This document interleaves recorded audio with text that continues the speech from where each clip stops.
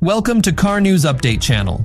The first and only generation of the Skoda Kodiaq made its debut in the autumn of 2016, serving as the production version of the VisionS concept that was showcased in March of the same year.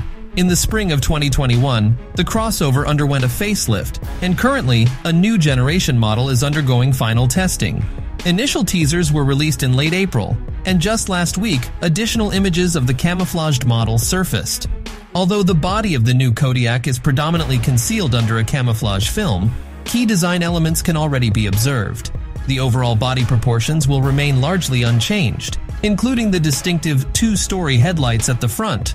However, there will be slight modifications to the shape of the lights and the radiator grille, while the hood will have a flatter profile with a subtly concave central section, in contrast to the convex shape of the current model's hood.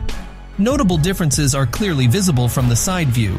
The side windows will feature an updated design with an upward sloping windowsill line, and the upper section of the side panels will be almost flat, accompanied by a boomerang-shaped stamping along the lower part.